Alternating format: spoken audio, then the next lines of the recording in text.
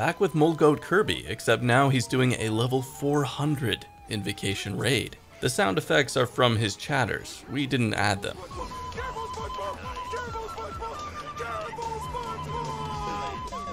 Oh. Chaz would try to get me killed. oh my god, Chow, we did it. 400 invocation clear. Let's freaking go, finally. Unfortunately, it's a white chest, but well done for a 400 clear. That's insane. Today we are spotlighting an amazing achievement.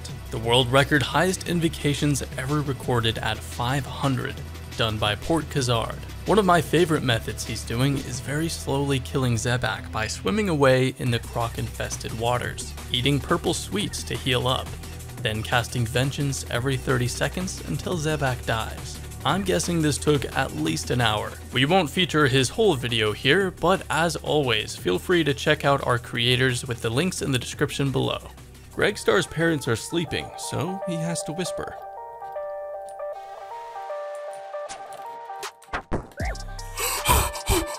Oh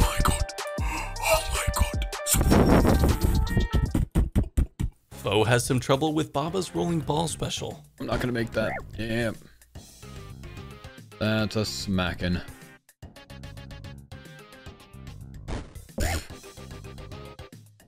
Please don't die on Baba, bro.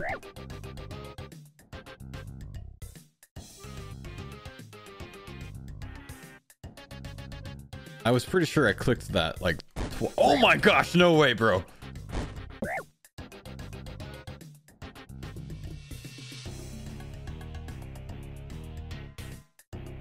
No way all of that just happened. What the hell happened? What was that? Gerge goes into multi and runs into this noob. Oh my god, am I actually gonna go? he just got bare Whoa, the bear's fucking me up. Oh my. That's ruined my day. I'm gonna die trying to freaking fix this inventory up, dude. This sucks. Inventory management. It's a very difficult skill to learn. No, I think I got it.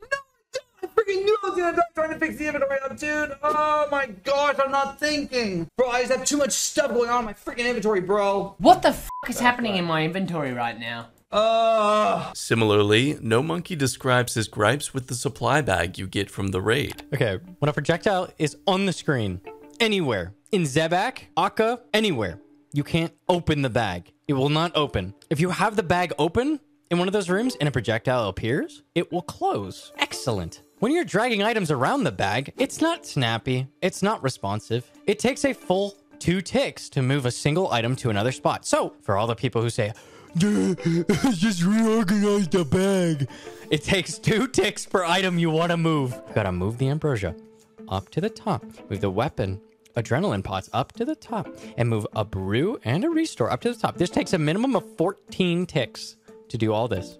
Okay, now that you've done this, you accidentally pull out one ambrosia and you hit resupply and it deletes the other one. The bag is the worst part of the raid. It may not seem like it matters much, but for high invocation raids and for speed runs, the bag mechanics make a big difference, as you can tell. Let us know what you think Jagex should do in the comments below. Uh... Oh my god! Oh my god! Oh my god! Oh my god! Oh my god! Oh my god! Oh my god! Oh my god! Oh my god! Oh my god! Oh no! Oh I got a sigil, but it's a fucking spectral! No!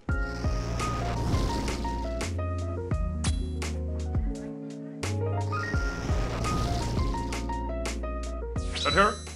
Surely, nice. Oh my goodness, guys. Pog, how much did we get? What the f bro? I just started the stream. 82 mil, just like that. Sick Nerd puts his hardcore on the line once again.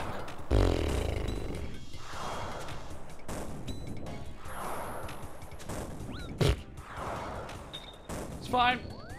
Ran out of prayer. Good telly. it's fine. Dude was minding his own business doing Wilderness Slayer when he gets hit by a team. They got me. I'm not escaping, I'm out of food. And he's dead. Ouch. GG's, boys. Well, now he's made a return and the same team finds him again. Main. However, this time he has a super combat potion in his inventory. Yeah.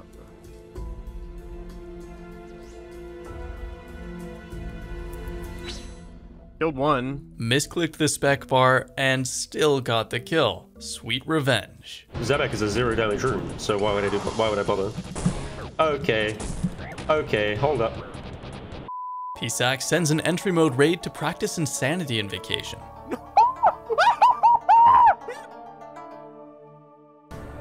Let's go! A Fang on 80 invocation. Damn, that's lucky. I do have a, I do have a lot of clips that I can. Uh... Yo! Run! It's an ultimate! It's an ultimate Iron Man! Oh my god! Oh my god!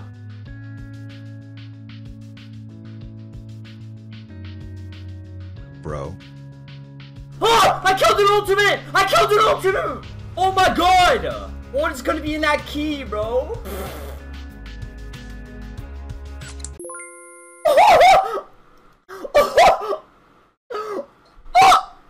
Whale is on his ultimate Iron Man when he sees a purple chest. All right, well, let's see what we got.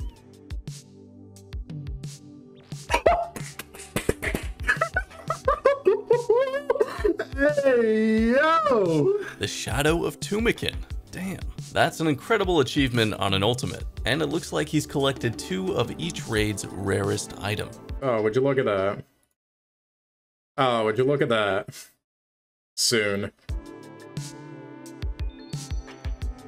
Oh my fucking god, are you fucking kidding me? On the back to back?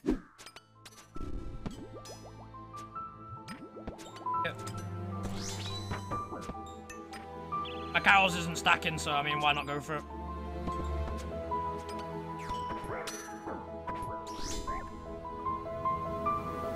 Dying on my hardcore Iron Man.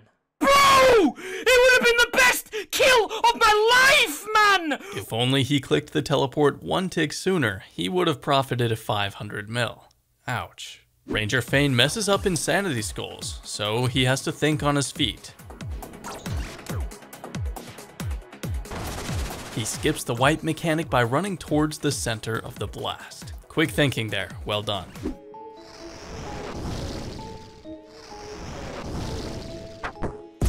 Oh my god, what a move! Good fight! No way I got him like that. Huh. This guy's in my clan, but he wants to fight. You know what? I'll fight him. You're kidding.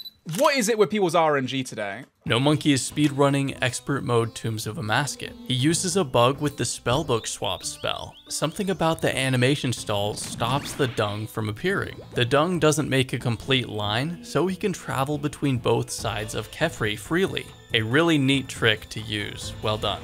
It's Skillspecs versus PureSpam in a suspenseful 1 billion GP deathmatch. Who will take home the gold? Alright, good luck, Ian. Oh, wait, bro. Okay. Okay. So I've given him free pid by accident, chat. I, I did, I, bro. Obviously, I didn't tell him not to spam click me as I come out, but yeah, it's all right, bro. He's my friend.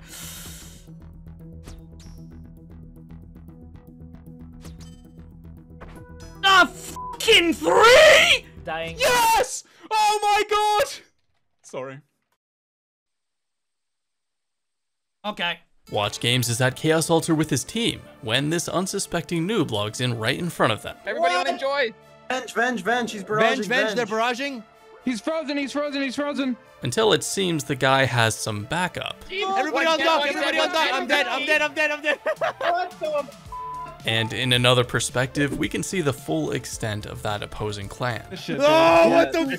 That's rot. See, that's rot right there. Look That's at their rot names. Look at their names. That's rot, Yeah, bro. see, that's rot. In RuneScape news this week, Arcane talks about solo Tombs of Amascut reward potential. Um, so we very carefully made this like all sizes are very, very viable. In terms of like drops, it's very linear in that regard. If you add an extra person, it effectively doubles your drop chance to a certain extent. What isn't linear, however, though, is the kills per hour. Your raids should get proportionally faster with each additional person you add into your group. The solos have been intentionally made slightly worse uh, to incentivize group play. Essentially, solos are probably slower GP per hour than team raids because they take longer. Now a question, do deaths matter? It does. Uh, it does for your group as well, but more so for the player that died. It's similar to Chambers of Xeric in that regard, where if you die, you lose some points.